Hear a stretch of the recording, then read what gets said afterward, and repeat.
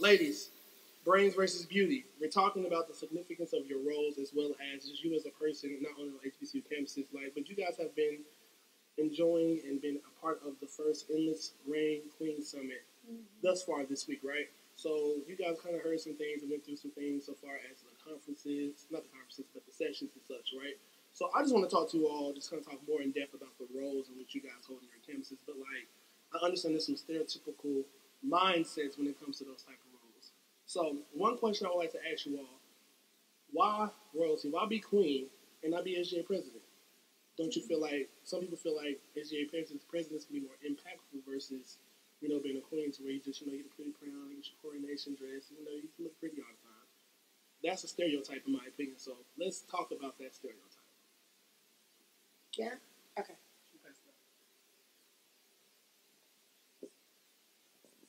Okay, well, I chose to become um, queen of my university um, mainly because I watched the people who were before me, and the stereotype was burning me up. Like they were actually proving it to be right.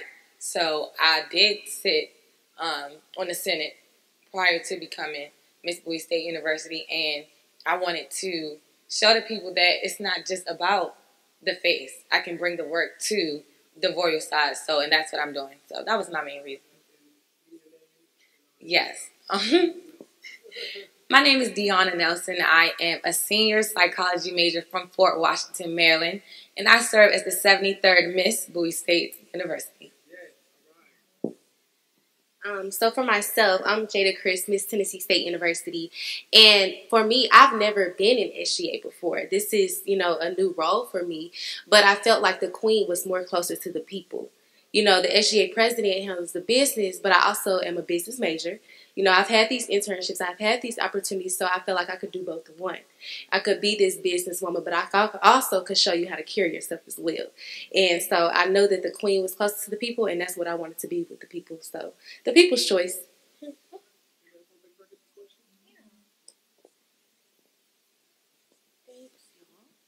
Hi everyone, my name is Taylor Walker, a senior mass communications and speech minor from Durham, North Carolina, and I serve as the 80th Miss Winston-Salem State University. And to piggyback off of my Queen sisters, um, I always thought I was going to be SGA president. That's what was my goal when I started college. But when I got in the role too, I saw that people had those stereotypes and that the queen was just a pretty face um, but she's so much more. And for me, I wanted to bring the element of she can do both. If she really wanted to, she could run for the SGA president. She just chose not to. And I also wanted to change what some of my classmates felt like a queen looked like. And I wanted that face to be different for Winston-Salem State University. And that's what motivated me to choose queen over SGA president. Awesome. I like that a lot. Okay, thank you. Next question. Tell me, do you feel like you guys make an impact on your campuses? Being clean, that is, you know. And if so, give me a um, I definitely believe that I've had an impact on my campus. Um, similar to like what Deanna said, um, I feel like a lot of times past queens on my campus, I love them to death, and I feel like everyone's reign is different and unique to them. However, I feel like I wanted to be the queen to other people that I felt like I needed. Um, so I've had sister circles, and I have sister circles every Wednesday. Um, and I think also about being a queen, God has just moved in my life um, and helped me to see my passion and my purpose to love on people and pour into people. And I think that is the significance of being a queen. And um, my title as Miss Lincoln University of Pennsylvania has really allowed me to just move into people's lives and to pour into our students' lives because a lot of times we don't see what a lot of them are going through um, and to just guide them throughout their college experience because a lot of times we think that oh we just need to advocate for their needs and just make sure they get everything that they want out of their college experience but how are we helping to heal them how are we helping to see them through their college experience so i feel like that's the way i've kind of had an impact on my college campus for me personally i came in at a time when royalty on my campus almost lost its value so my goal as Cheyney university was to change the culture and that even made SGA step up because that's another reason they were slacking. I'm like, all right, I don't want to be a part of that. And I just didn't see myself there. So just changing the culture and making everyone step up, starting programs, being more involved with the freshmen. They came and starting events with the freshmen and just making an impact on them, academic success, and that's what we focus on now. I'm starting a program, and people are seeing that Queens have value and that we set the tone for our universities, and I feel like we make impact. So, yes. I am Kiana Roberts, the 47th Miss Cheyney University of Pennsylvania. Hey everyone, I am Tykeria Moore, Miss Fort Valley State University, and I say yes, we make a great impact on our campus, especially for the females. Um, I had many females come up to me asking me, how do you do it? Because before, I was very like shy, I was scared to speak in public, but um, taking on that challenge has um, made me become better. And so they want to do the same thing. So I told them, just do it, pray fast, and just keep going keep going. Don't let anything stop you. So I feel like we make a great impact on our campus by doing that.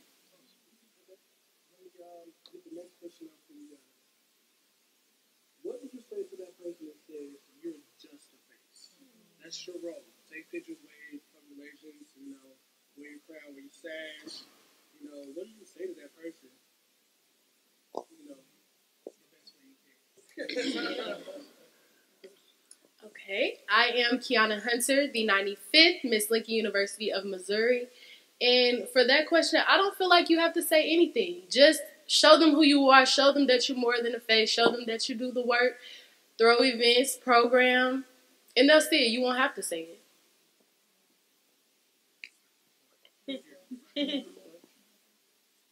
like she said, we prove it. I hold four other positions on campus other than being Miss Cheyney. So if we were just the face, we would just be just being Miss Cheyney and not trying to branch out and learn other things and learn different situations. So we're not just the face. We are actually leaders who evolve.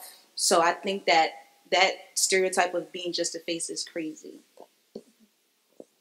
Hello, I am Courtney Natasha Ingram, and I currently serve as the 77th Miss Benedict College. And for me, it's more than just being the face because I'm just like you. Um, I get up every day. I go to class every day. Um, I dress up. I put on my sweatpants sometimes, no makeup. But it's all about understanding the person and understanding that my story, my story matters more than just showing up every day. Like if I can just have a conversation with you and be transparent, I think that's more than just you know, putting on a crown, putting on a sash. It's more than just, you know, just walking past you. I can say, How are you today?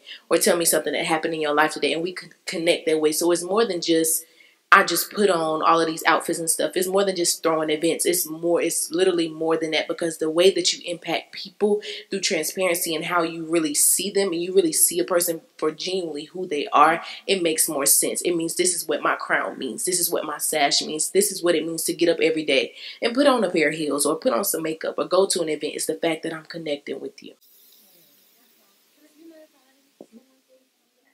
Okay. um, think a lot of people, and even including me before I even um, got into the role, underestimate all that misses do for their universities.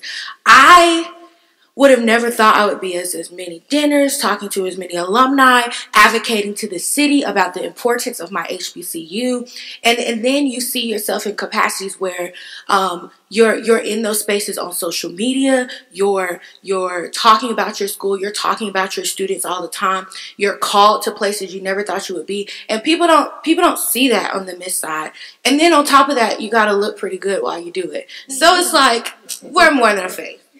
Yeah, and, and to add to that, I would definitely say um, one of the biggest impacts and how I think that we are more than just a pretty face is that we really inspire the students and um, the inspiration that we give to students inspires them to become student leaders.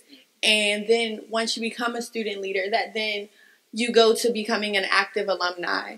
And then after becoming an active alumni, you then become someone distinguished in the black community and then now you are inducted into the MBCA Hall of Fame, you know, and representing your university. And it goes so much further than just wearing a sash and crown. We really have an impact on someone. And I think it's really about helping students um, leave their mark and helping them to find their purpose. And then really also helping them to find a love for their university. I know I can speak for all of us. We really have a love for our HBCUs, and me personally, my HBCU has changed my life.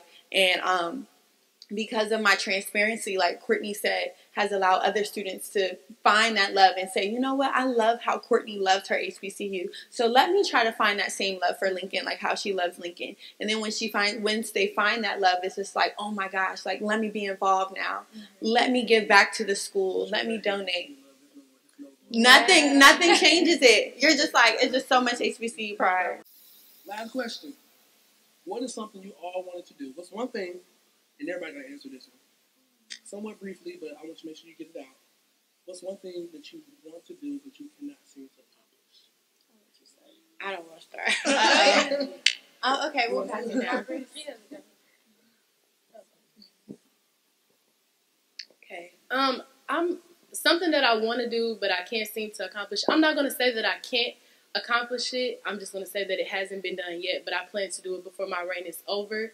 Um, being a queen has really been an experience for me. I've learned so much about myself, and a lot of people have poured into me, like poured into us all, because we've been at the same conferences and things like that. So I want to make sure that I give that back to the ladies on my campus because I feel like they need it, like I needed it when I got it. So yeah, that's one thing I want to accomplish.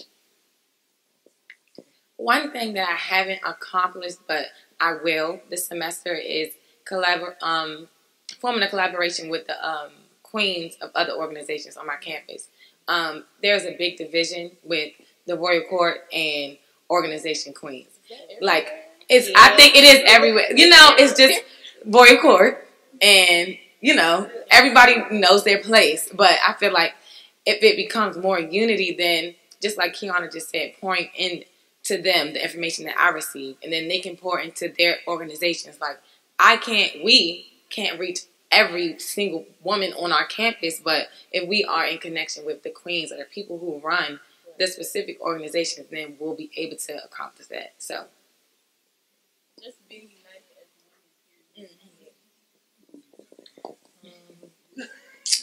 If I can just impact one person, that's enough for me. But um, more so to impact more people. But for me, I'm not going to say it's not impossible because it will happen. I speak, you know, positively and great things that will happen. Um, it will be like a using the things that were poured into me and using them like for a, a week of experience or a weekend of experience, like I'm some type of explosion, women's explosion, where the people that that poured into me, they could come and actually sit down and have those conversations or those sessions, that one to one thing where they can just understand it and see how it has impacted me and why they really need that person or they need a mentor or a coach or somebody in life, how that could really shift and really make them see like I'm value. Like I am value. When I walk into a room, I am value and this is why I want to do this, this, this, and this. So it just makes sense to me. It comes full circle.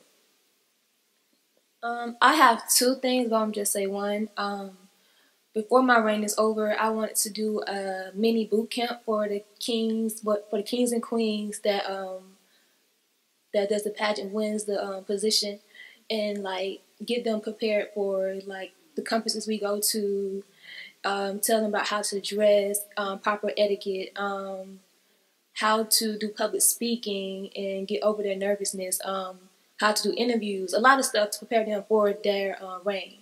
So that's one thing I want to do. One of my goals is ensuring that the next Royal Court has adequate funding to fund their entire conferences. I didn't get to go to the other conferences. This is my first one, so I just want them to get that experience and you know just to be able to lead them and guide them and be like, okay, this is what you have to do. This is what you need to expect. So I just think that making sure that they have adequate funding. I didn't have it, but I'm just worried about the next court and then how they could use that same strategy to prepare each court going on. Um, one thing I haven't done yet that I know I will do is um, I, one, I love education and I love everything about the HBCU experience. And so, one of my goals is to get high school students and uh, middle school students to kind of get a glimpse of the HBCU experience and uh, see the value that it has and see how important it is to us and how it has changed so many people's lives. And I think that will then um, bring more attention to HBCUs and also for the whole world to see the impact that we have because the HBCU history is like American history and black history and African the African American experience is the American experience and um, I really my goal is to get people to understand that. Um, I think one of my major goals was that any Winston woman would feel like she could be the Winston woman as Miss Winston-Salem State University. Mm-hmm. And I won't be able to see that until election seasons in the next couple years.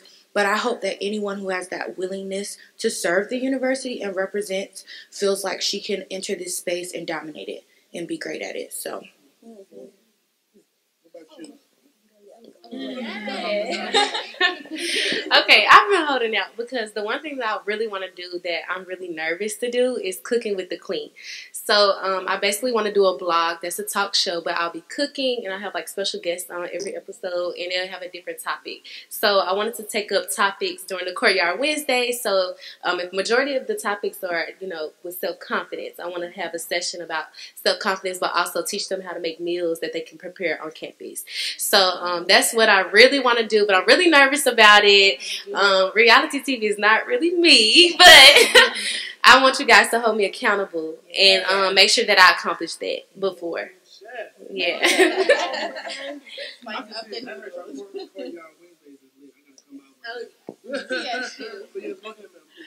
Okay, I want to piggyback off what um, Kiana said um, when she was talking about funding for conferences um, my provost came to me. He was like, you know, a good idea uh, for you to leave a legacy for Fort Valley is um, getting alumni to donate or adopt someone off Royal Court and pay for their wardrobe because that's like really hard for us. Like we have bills or we just don't. You have a job or anything, no um, stipend to pay for your outfit. So it's a struggle for most Royal Courts to do that. So they have to find the cheapest outfit, something look really good, or repeat it over and over. So I was like I can do that, but it's kind of hard. But I really want to do that to help people in the, the queens and kings in the future. So that's my goal to do that before my reign is over. And I'm praise to God that I can do it. Because alumni, you know, sometimes it's a lot of money for like how many people on the court? Like 14 people on the court. That's a lot of people. So yeah. yes, we did. oh wow. They showed up for Kings and Queen year. like, okay, they're here. y'all look good. You know what I'm saying? So, but it like, was like a lot. Like, y'all, I, that's about the biggest one I've ever seen with that Fort Wow. Um, before I went there, that's back when I was, 13, 14. Yeah, we stopped. We only got our um, main court and our class kings and queens. That's it. So, mm-hmm. yes. Well, ladies, um, I just one. I want to say, um, whatever it is you want to accomplish, do. Mm-hmm. You know, sometimes it, you might not be able to finish it when you started,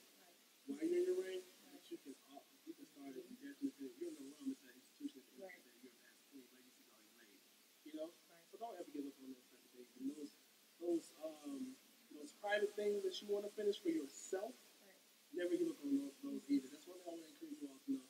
That at the end of the day, yes, you are the queen of your institution, but yet it's your name, then it's the title. So you got to take care of the name first. Right.